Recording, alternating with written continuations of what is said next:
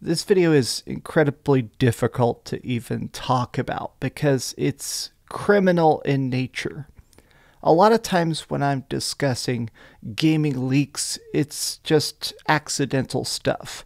An employee posting something early, you know, somebody getting beta access, a storefront posting a trailer before they're supposed to. But this leak is different.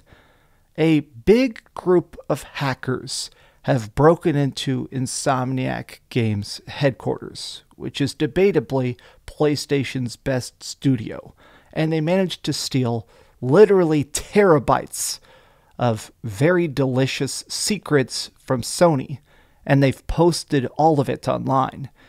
Now, people are discussing if it's even morally correct to talk about this, if this is one of those situations where universally we should turn our back and pretend it isn't happening.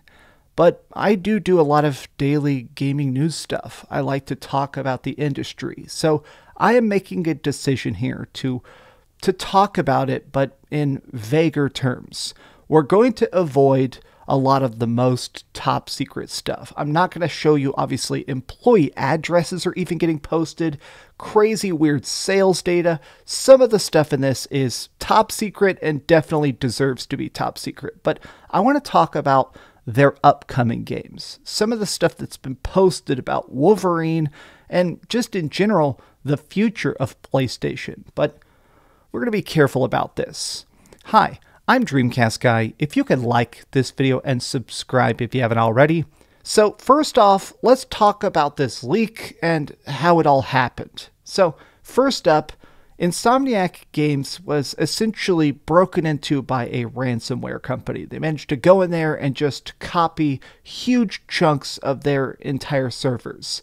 So they got stuff like Wolverine gameplay, apparently a bootable build of the game itself. I mean, it's it's wild and a lot of the industry is kind of coming together to express their condolences remedy games square enix a lot of people are straight up saying like this is beyond just your typical leak this isn't just some accidental gameplay stuff this is the game okay so, real quick, I do want to look at this Video Game Chronicle article explaining how this happened before we start to actually get into all the leaks themselves. Okay, so here we go.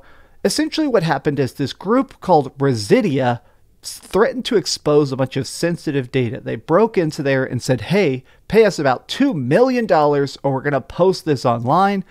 They didn't pay, obviously and now it's all getting posted onto the dark net. 1.67 terabytes of data. That's thousands of gigs of top secret stuff. Now, it's just insane because really, this is a bunch of stuff that's uh, essentially detailing everything coming out for the next 10 years. Oh man, just everything. Internal emails secret conversations passport scans. I mean they they, they really managed to steal everything. But on the gameplay standpoint i'm not going to show you the stuff because honestly right now insomniac lawyers are going ballistic. But even inside of the details of this it sounds like wolverine is going to be absolutely massive I think everybody is incredibly curious about Wolverine because Spider Man has been so good. Miles Morales, Spider Man 2, the OG Spider Man on PlayStation 4.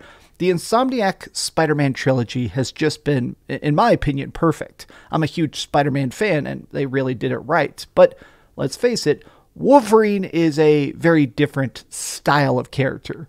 Vicious, ageless, more brutal, more gory not exactly the same jokey, punchy tone that Spidey has.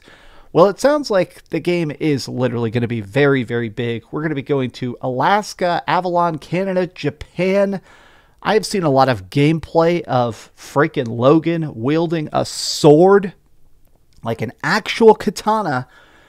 The combat in this game definitely seems like it's going to be good. Now, if you happen to pursue these leaks, they are pretty much all over the internet just keep in mind that this game is probably not coming out for many years. A lot of this gameplay stuff, as good as it looks, is from an earlier build.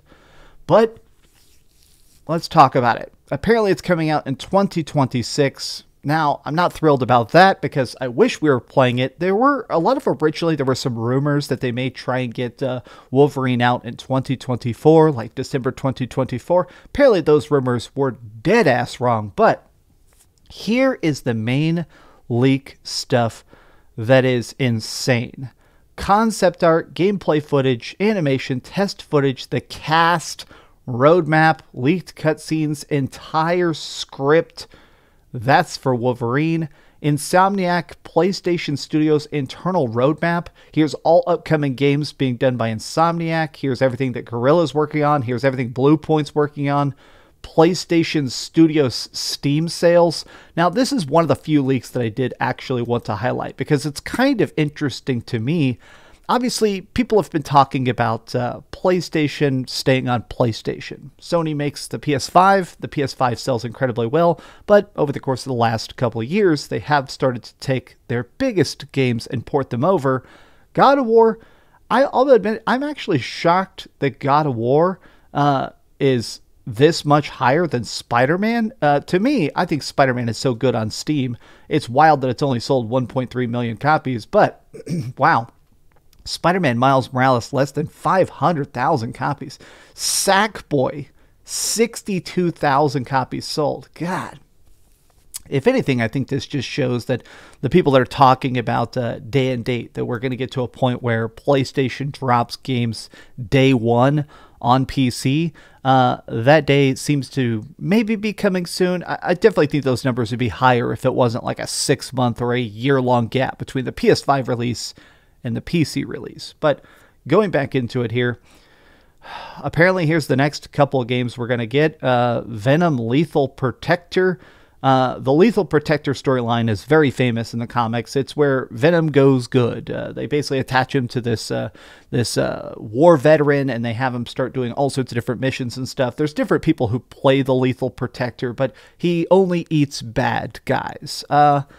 It's kind of what the movies are based on, very loosely, obviously. But uh, wow, it it's crazy that we're going to get another Venom game before we get Wolverine, Ratchet and Clank 2029, Spider Man. Now, there have been leaks detailing that this is probably going to be a multiverse Spider Man, which would be completely bonkers the possible split, the Great Web. Now, anybody who 100% played Spider-Man 2 knows that there was already some Spider-Verse content in there. Uh, you know, some stuff kind of alluding to into the Spider-Verse. So, not a huge shock, but I wonder if that means it's going to be multiplayer. I mean, I think there's probably a good shot that this uh, multiverse game is going to be their first crack at multiplayer, and then X Men in 2030 with some licensing terms, which essentially means that nobody's actually working on this yet except the legal team.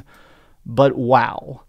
Now, the one part of this that I wanted to highlight, other than this list of crazy, crazy stuff on gaming leaks and rumors, is the fact that there are these internal slides that people have been talking about, which is Insomniac discussing how they're actually concerned about the Activision Blizzard deal. Now, I've talked about the Activision Blizzard deal to death.